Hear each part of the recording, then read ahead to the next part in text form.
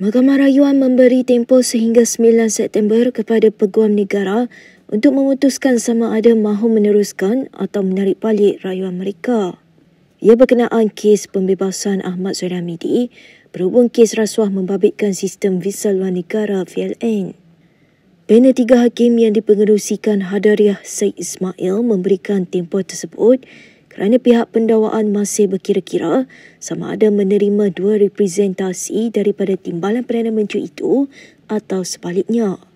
Representasi pertama Ahmad Zahid dihantar ke Jabatan Peguam Negara pada Januari tahun lalu sebelum yang kedua dikemukakan pada bulan lalu. Terdahulu, Mahkamah Rayuan membenarkan permohonan pasukan pembelaan Ahmad Zahid untuk menangguhkan perbicaraan supaya pendakwa boleh meneliti representasi dikemukakan tertuduh. Peguam negara sebelum ini merayu terhadap keputusan Mahkamah Tinggi Shah Alam pada 2022 untuk melepas dan membebaskan Ahmad Zaid Hamidi daripada 40 pertuduhan rasuah yang dikaitkan dengan VLN.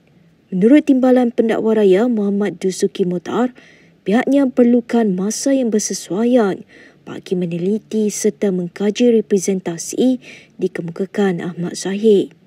Hadariah kemudian mengingatkan panel rayuan telah menghabiskan masa berhari-hari untuk meneliti ribuan halaman rekod rayuan serta penghujahan bertulis dalam kes tersebut sebagai persediaan perbicaraan hari ini.